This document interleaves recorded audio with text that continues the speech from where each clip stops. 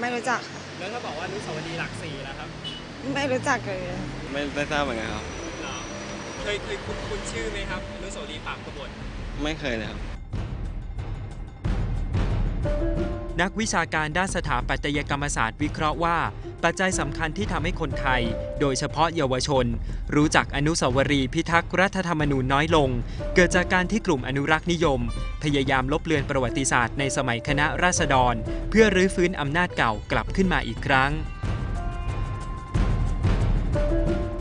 ผมคิดว่าสังคมส่วนใหญ่ณปัจจุบันเนี่ยไม่รับรู้ถึงความสำคัญของเหตุการณ์นี้ ไม่รู้จักคณะรัษฎร ไม่รู้จักอนุสาวรีย์ปราบกบฏพิทักษ์รัฐธรรมนูญอีกแล้ว รู้จักก็เป็นเพียงอนุสาวรีย์หลักสี่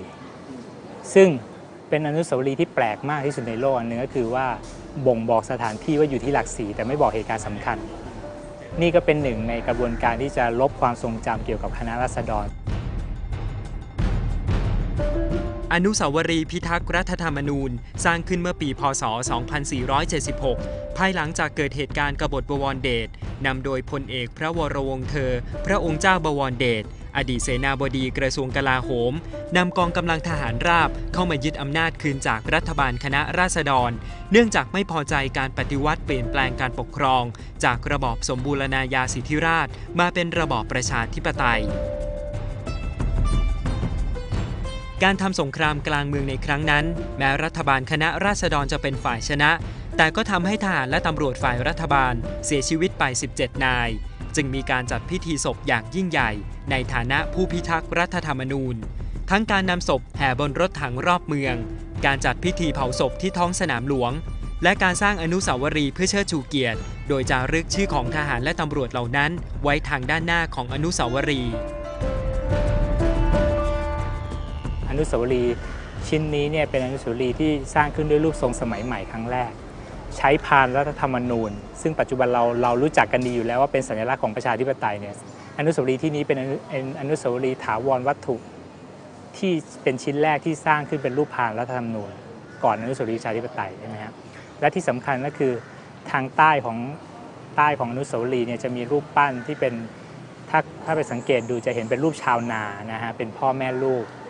ถือเคียวอะไรเงี้ยซึ่งเป็นชาวบ้านธรรมดา ในทางประวัติศาสตร์ศิลปะเนี่ยผมคิดว่าอนุสาวรีย์ชิ้นนี้เนี่ยเป็นชิ้นแรกเลยที่ประชาชนคนธรรมดา สามารถจะมีที่ทางในทางศิลปะที่เผยแพร่สู่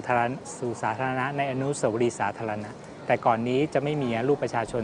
ธรรมดาที่จะถูกยกย่องให้เป็นวีรบุรุษ หรือมีความสำคัญขนาดใหญ่จนมาสร้างเป็นอนุสาวรีย์เดี่ยวๆเฉพาะแบบนี้ แม้โครงการก่อสร้างสะพานลอยข้ามวงเวียนหลักสี่จะเคยถูกคัดค้านจากนักประวัติศาสตร์ เพราะทำให้บทบังทัศนียภาพของอนุสาวรีย์จนยุติการก่อสร้างไประยะหนึ่ง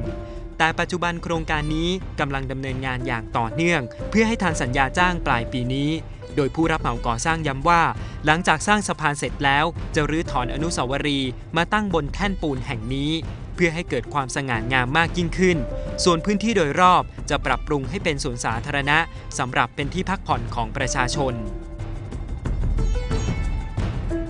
การบิดเบือนประวัติศาสตร์ในสมัยคณะราษฎรเกิดขึ้นอย่างต่อเนื่อง ตั้งแต่ปี พศ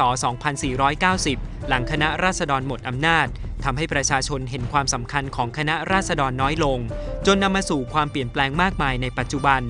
รวมถึงอนุสาวรีย์พิทักษ์รัฐธรรมนูญแห่งนี้ด้วย วีรนันท์กันหา Voice TV รายงาน